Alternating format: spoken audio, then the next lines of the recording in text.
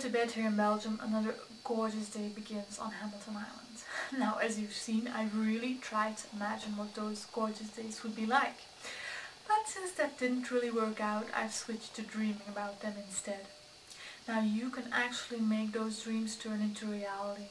So I can only hope you will pick me as the one person who gets to experience all of those gorgeous days and tell the world all about them. Until then, all I can say is good night.